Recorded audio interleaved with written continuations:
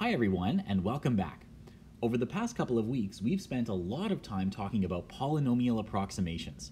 We've learned how to find Taylor polynomials for a given function, we've studied shortcuts for computing such polynomials, and most recently, we've learned some methods for estimating the error in our approximation.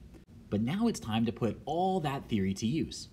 In this lesson, we're going to see how to use Taylor polynomials to approximate integrals that we can't compute using the fundamental theorem of calculus. To start things off, consider the following very famous example, the function e to the x squared. Now suppose we want to know the integral of this function from x equals 0 to x equals 1. You could try to compute this by finding an antiderivative of e to the x squared, but you're going to have a hard time.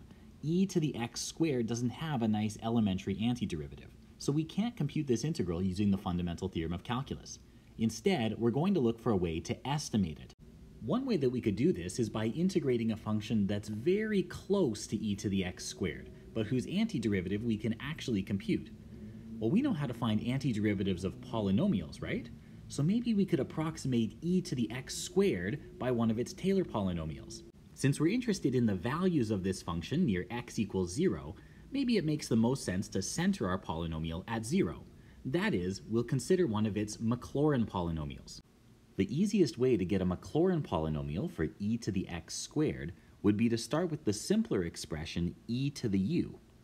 I'll let you check as an exercise that the quadratic Maclaurin polynomial of this function is given by 1 plus u plus u squared over 2. Here I've chosen a quadratic arbitrarily. I just need something for the time being to estimate this integral. Of course, we also have a remainder term, which I'll denote by r2 of u. Now, since we're interested in the function e to the x squared, our next step would be to make the substitution u equals x squared. I'm going to replace all the u's on the right-hand side with x squared. We get a Maclaurin polynomial of this function given by 1 plus x squared plus x to the 4 over 2. And of course, I have to make the same replacement of u with x squared in my remainder term. That gives me a remainder of r2 of x squared. Our next job will be to integrate this expression from x equals 0 to x equals 1. But what do we do about this remainder term? Maybe your gut tells you just discard it. After all, e to the x squared should be pretty close to this polynomial. Well, that's one option, but it's probably not a great choice because if we throw out the remainder term, we have no way of knowing how close our integral approximation is to the true value of this integral.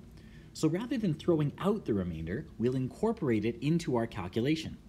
Let's start by looking at the remainder term for e to the u.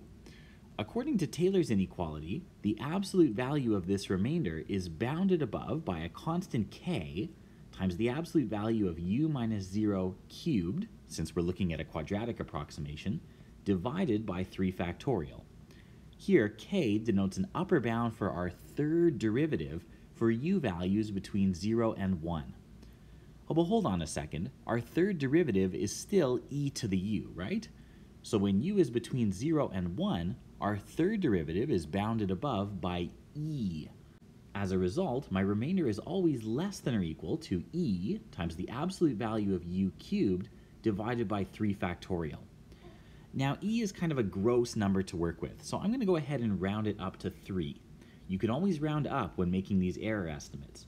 This is going to be less than or equal to, okay, 3 over 3 factorial, that's going to be 1 over 2, so absolute value of u cubed over 2. Okay, cool. We have an upper bound for this remainder. But what about the remainder for e to the x squared? Well, to go from this remainder to this remainder, we need to replace u with x squared. And if I do that, I find that the absolute value of r2 of x squared is going to be bounded above by x to the 6 divided by 2. Okay, now we're in business. We know that our function is equal to this fourth degree polynomial plus some error term, where the error in magnitude is no more than x to the 6 divided by 2.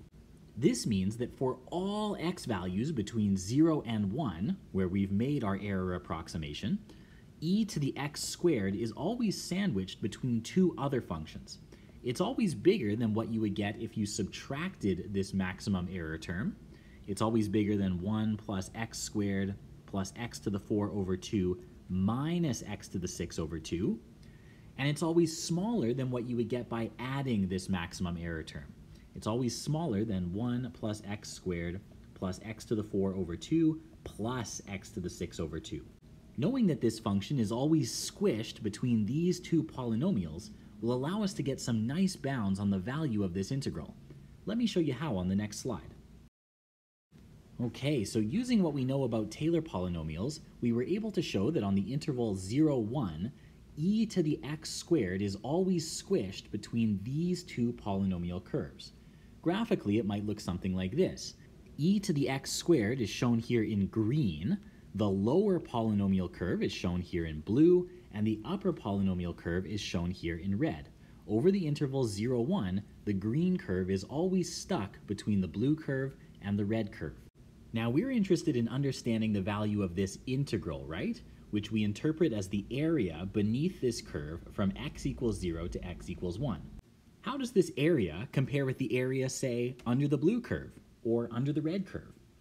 Well, you can see if the blue curve is underneath the green curve, then it encloses a little bit less area than the green curve does, right? The integral from 0 to 1 of the lower bound is going to be less than or equal to the integral from 0 to 1 of the function we're actually interested in. Similarly, the red curve is going to enclose a little bit more area than the green curve. So the integral of this function is a little bit more than the integral of our function. Oh, now would you look at this? We found two integrals that we can actually compute that sandwich the integral that we're interested in. By evaluating this expression on the left and this expression on the right, we get a range of possible values for the integral in the middle. On the next slide, we'll take a closer look at these bounds and try to identify the maximum error in our approximation. On the previous slide, we showed that the integral we're trying to compute is bounded between two much nicer integrals. If I evaluate these integrals, I'll get a range of possible values for the integral in the middle. Rather than computing the entire integral directly, however, I'm going to start by separating out the error term that we found earlier in our calculation. In this example, x to the 6 over 2 was the upper bound on our error. So you can see I've split up my lower bound into the integral of my Maclaurin polynomial minus the integral of my error, and I've done the same with my upper bound. I have the integral of my Maclaurin polynomial plus the integral of my error. Now we evaluate. I'll let you check that if you evaluate these two Maclaurin polynomial integrals, you'll get a value of 43 over 30. What about the error term? Well, this is also not too hard to compute. You should get 1 over 14. Oh, but now take a look at what we've just shown. This calculation tells me that the integral I'm trying to find is equal to 43 over 30 plus or minus an error term of 1 over 14. So by separating out that error, not only do we get an approximation for our integral, but we get a range of possible values on the error. Maybe this was expected, but the error that we get in approximating this integral turned out to be the integral of our original error term x to the 6 over 2. So what we conclude is that the integral from 0 to 1 of e to the x squared dx sits somewhere between 43 over 30 minus 1 over 14, which, rounding down, is approximately 1.361, and 43 over 30 plus 1 over 14, which is approximately 1.505. Now, according to Maple, the value of this integral is roughly 1.463, so sure enough, we do land in the correct interval.